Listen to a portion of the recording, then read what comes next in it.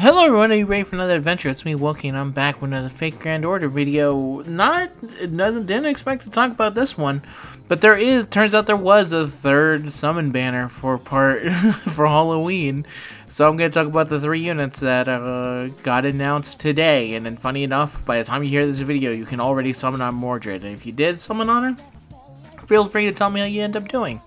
Um, I don't fully. So there's some weirdness going around here because I just realized Mordred, I think, was supposed to be a part of the APOC banner, but now I'm not 100% sure if we're gonna get that APOC banner.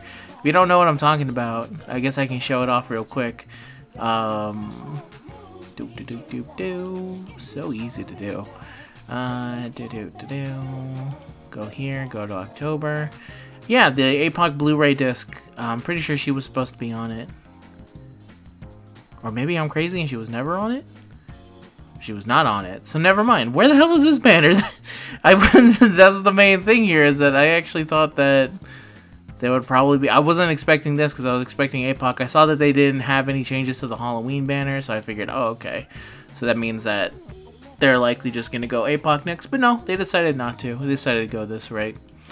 So, who's on this banner? We have Mordred, Saber, AoE, we have Li Shuwen in his assassin form, and we have, uh, I was about to uh, call her something else, Scheherazade, or Caster of the Nightless City if you have not finished uh, uh, Agartha at all. That is what she goes by.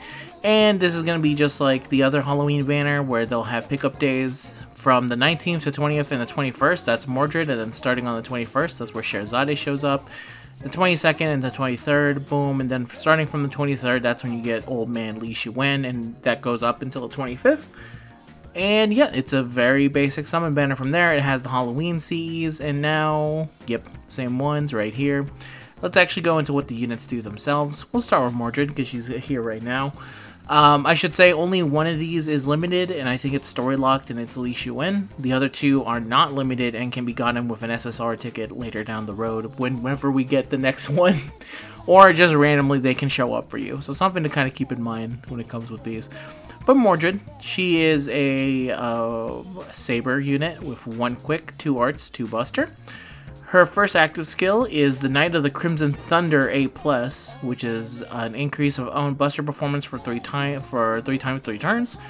It increases own crit damage of buster cards for three turns, increases on attack for three turns, and that's a 50% up buster, crit damage 30%, and attack up is 20%, and that's a cooldown of 5. And her mana burst, if you do not have it I think this is what we currently have. I don't think we have her second strengthening in game yet. I can actually check by just looking here. When was this released? Yes, we should have this then. Because this was, yeah, we have this already. So, yeah, a much better version than this one. By a large margin. That's huge. Second skill, uh, Cigarette Lion B+. plus. Uh, Cigarette Lion B Plus is an increase against crit stars store absorption of Buster cards for one turn. Increase crit damage for three times three turns. Gain crit stars 500%. Crit damage is 50%, and the star is 15, and the cooldown is a 5. And if you're wondering what Instinct did before this, it was just simply 4 stars. This is also a cooldown of 5, like I said beforehand. Our third skill is the Secret of the Pedigree Helm of the Hidden in Infidelity EX, which has not been strengthened. It uh, removes her debuffs, increases own defense for one turn, and then charges own NP gauge. Uh, defense up is 50%, and it's a 30% NP charger with a cooldown of 6. The magic resistance is B, the riding is B, those are the passive skills. I don't know why I said it so weird, that's the first time I've said it that way. Third skill is an anti-saber attack damage aptitude, so in case when she goes against Saber, she can immediately start fighting Saber. And her noble phantasm is the Clarent Blood Arthur, the rebellion against my beautiful father. It is A plus uh, Buster rank, anti-army, five hits. This doesn't matter for Buster. Deal damage to all enemies. The damage is 400% at NP level 1 and 600% at level 5. Deals extra damage to Arthur enemies and then charges on NP gauge. The bonus against Arthur's is 180% and goes all the way to 220%. Uh, no, it goes 180%. 180% at charge level 1. At charge level 5, it's 220%. And then the NP gain is 20% with it being 40% at the final charge level. And in terms of Arthur, that should be pretty clear what those Arthurs are. Though I would regular, why don't we just call it? I guess because it wouldn't be Saber Face. That's that's fair. There's a lot more Saber Faces than that. Uh, Arthur, sure. Anything that could be considered an Arthur, she'll deal bonus damage too. And that's Mordred. Uh, I think Mordred is very solid. It's just a very good unit, actually. I think the only negative here is that uh, she's just not the same level as her father. Let me see if I can just quickly look at the Saber list.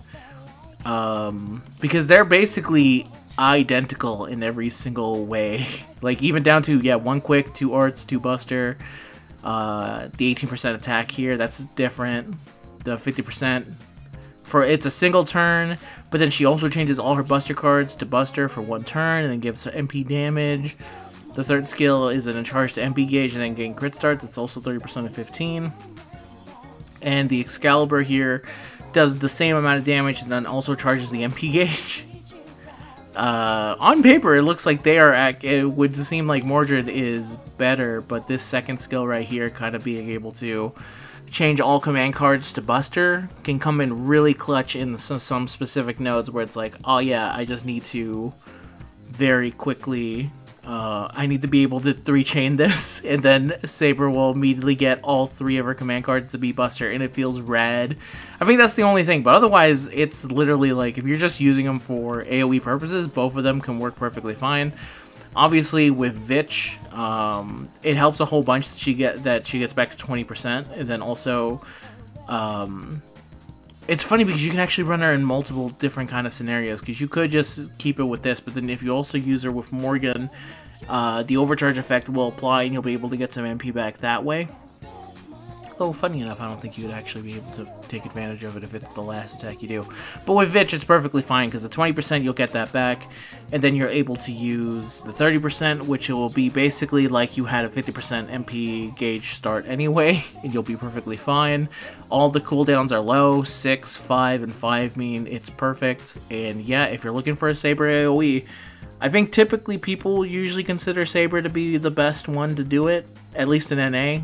Actually, I don't know how. No, that's not true. The best one would be um, Muramasa, but that's different. Maybe it's not fair to compare people to Muramasa his singular AoE attack does more damage than some people's single target, so maybe it's not actually a fair comparison. But we'll take it for Buster. He is technically arts, even though his arts doesn't it doesn't really matter. He's an anomaly. I don't think it's really fair to compare any unit to him, because at that point, if every unit started to be compared to him, we'd have kind of an issue in the game.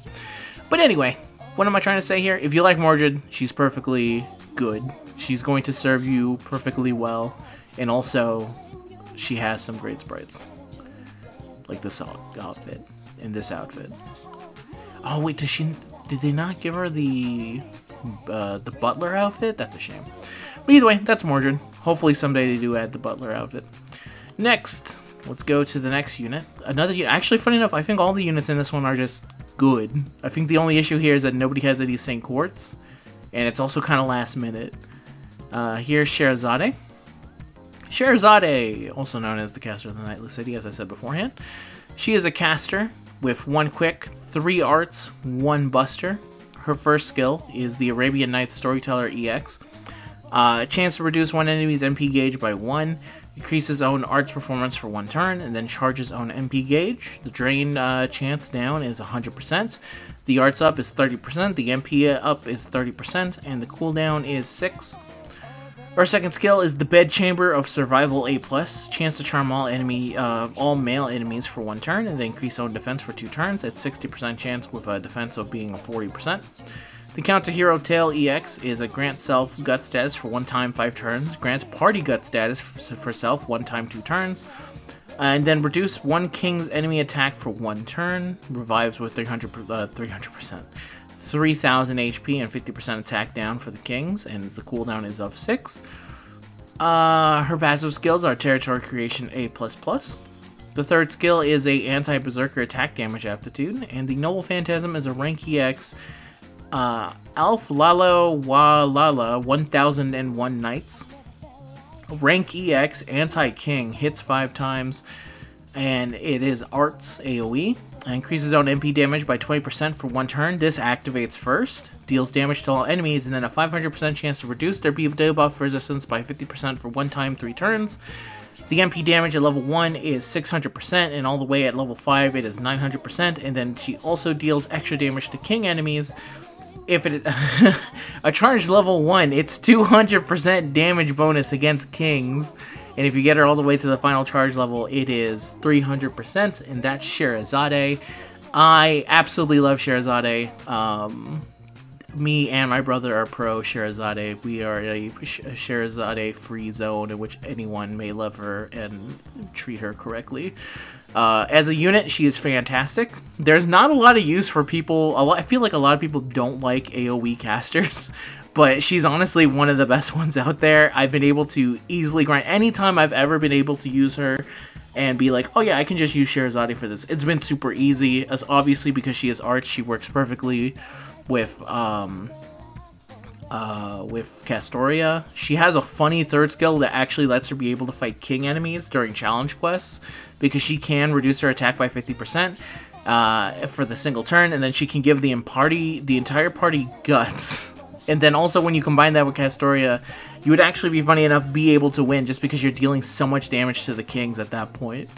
Um, it's a very silly way to win. I'm not saying it's the uh, ideal way to win, but it is a way to win, and it is 100% viable. Um, yeah, absolutely love Scheherazade. Definitely worth having, definitely worth, worth using, and de definitely worth leveling up.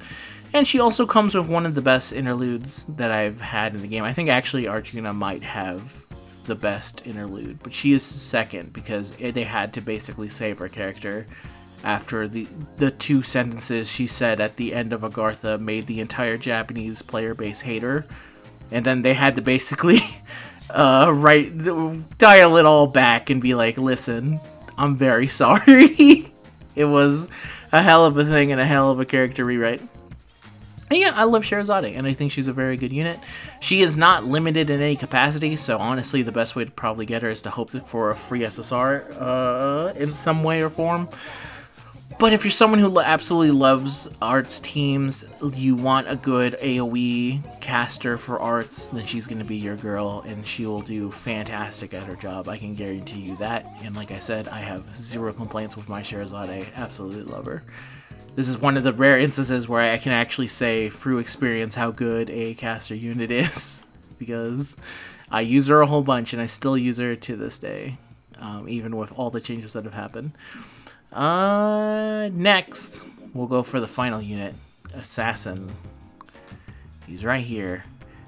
I think this man, Li Shuwen, has the record for the worst time to show up in banners, because I feel like I would have him if he didn't have the worst track record in the world in terms of following up units that other people were excited about and he follows them up immediately, so it's almost impossible to save for him because he always follows a unit. It typically is like, oh yeah, I was saving a whole bunch for them, and then Li Shuwen showed up right afterwards. Anyway, Li Shuwen, he's an assassin. One quick, two arts, two buster. First skill, the Chinese martial arts by Quan, A+++++. Plus That's three pluses, my bad if I added an extra one. Ignores invincibility for a single turn, increases on crit damage for one turn. It's 100% crit damage up and a cooldown of 5. Second skill is the Sphere Boundary Zenith A-, minus. grant self-evasion for one turn, increase uncritical star absorption for one turn, gain crit stars, 500% absorption with stars 15 on the cooldown of 6. Third skill is the intersection of the Yin Yang B, increase auto attack for one turn, increase, further increase attack for 3 turns, and then grant self debuff immunity for one turn. The first attack up, which lasts a single turn, is 30%, and the atta second attack up is 20%, and that is a cooldown of 6. His only passive skill is Veteran A+. His append skill for the third skill is an anti-lancer damage attack aptitude, because he really hates his younger self. And his Noble Phantasm is a rank... Uh, Noble Phantasm, the Wu Er Da, the no second strike, the anti-unit Noble Phantasm, hits exactly one time, deals damage to a single enemy, 150% chance to instant kill them, uh, note here, instant kill always succeeds against mob enemies with 80% or higher death rate, basically bronze uh, rarity. And the using the school uniform level 10 can kill enemies with 50% death rate, basically silver rarity uh, units. Uh, his damage is 12,000 at NP level 1, and it's 18,000 at level 5. And then he reduces one enemy's defense for three turns, activates first, and then his charge the charge is 20%. That's how much defense they lose at level 1.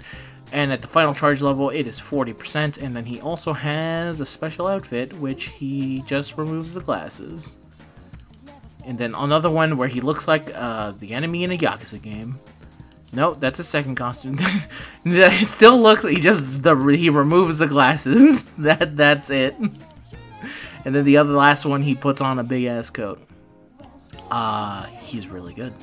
Uh, he does one thing, which is single target kill, and that's what he does fantastically. Um, I think he's he's still one of the top assassins when it comes to single target killing. Uh, he's not the best, at least on NA. On NA, I know the best is probably still Kama because Kama's ridiculous. But in NA, he pro he's probably up there with uh, King Hassan and I think maybe Jack. Yeah, I would say yeah, Jack, because Jack was the best single target assassin until Kama came in and then completely changed the game for everything, and now she's just the de facto best one as far as NA is concerned. I'm not 100% sure on JP because I don't. To be fair, not a lot of people talk about single target assassins. I think it's because for the longest time, a lot of assassins were kind of bad, at least in the early parts of the game. We had dudes like Stheno stinking up the joint, and to be fair to Lee Sin, he has a mechanic that is typically very bad, which is instant kill. But it's 150% chance to instant kill, and he's dealing like 12,000 damage, and even with having a a debuff on it because he is an assassin, so assassins do less damage just naturally. He still does a lot of damage, and he's also just built to completely destroy an enemy in a single turn. Like, his increase to attack, 50% basically for that single turn. Um, He's able to ignore invincibility. If you have crit stars everywhere, he's just doing 100% crit damage by himself. just, here you go, I'm just going to do that, and I'm just going to take care of it. It actually feels like the Lancer version, just taken to a more extreme, um, to make him easier to kind of use. And he does give himself 15 crit, uh, 15 stars to help, to hopefully help him crit. It's not the most, but, you know, during certain certain team comps, you can definitely make up for it. Thankfully, when it comes to single target units, typically you use them in boss stages or something, so you could easily just like figure out a way to put in crit stars and make your way that way. And yeah, his cooldowns are easy. It's six six turns, five turns, four, six turns. The only negative I have is that the second skill the granted evasion on self is also tied to crit star absorption and gaining crit stars, but being 100% honest, it's not the biggest make or break it. It's just kind of annoying if you need to use evasion and you miss out on the crit stars going to him, but at least you can technically use it for anyone. And yeah, those are the three banner units. All of them are different levels of good, but honestly, all of them are worth having and using. Now, I say that, but is it actually worth chasing? That's a different story. I think for at least Mordred and Scheherazade, it's smarter to use a guaranteed uh, SSR ticket on them or something. Uh, I know most people usually end up using it on Tamamo or Waver, but if you have either one of them or you just simply don't care about Tamamo and Waver, and you have other support units that can kind of help you out in there, or maybe you're someone living the no support life, you can easily pick up one of them, and that's the one you kind of care for. It would be funny to be like, I hate Tamamo, and I hate an arts team, and then picking up Scheherazade, who is very much arts team focused. this hypothetical person that I made up in my mind that does not exist. but anyway, that is the banner for this time. Uh, we'll see. It, based off of the news that we got for Fago, I would assume the next thing actually coming, the next banner they actually release would be the return of Ibuki, and just because they've already kind of started the the high, high the Heiko thing where you can get bonus stuff from that. So that would mean that would mean that they're probably skipping APOC, or maybe they're just saving APOC for Thanksgiving, where a lot of those units are gonna show up. I don't know. It's kind of interesting. We'll see. Uh, NA definitely doing some weird different things, and that's good because we're going to be coming up into a pretty weird year. And as if they're willing to put in banners that were not in the original timeline, I sure hope that means they're willing to put up maybe a little bit more events because uh, it was a very much a it's a kind of a dead year. It's a, the next year is a lot of I can't wait for Lost Belt Seven. And then it shows up at the end of the year, and that's a full twelve month long wait to get there. So you know we'll see. But that's the end of the video, everyone. Thank you very much for watching. If you made it all the way to the end, uh, you can leave a like, comment, and subscribe. It does help out the channel a whole bunch, and I appreciate it if you take the time to help. And I'll see you guys in the next one. Uh, best of luck to you if you end up summoning. If you do end up summoning, feel free to tell me, even if it was just a single ticket, to see what how to go. I'm actually kind of curious to see what how what are the percentage of people summoning on the like off kilter banners. I would assume it's not that high, just because most people are either saving or they're out of St. Quartz or something. But definitely for some of them, people like when they showed up, when Raiko when Raiko showed up out of nowhere, I definitely summoned. So maybe there is just a certain percentage of people who just see a banner with units that were they weren't expecting and that they and that they like and they're like, well, now I gotta summon because I wasn't expecting them. But anyway, that's the end of the video. Peace out, everybody. Bye.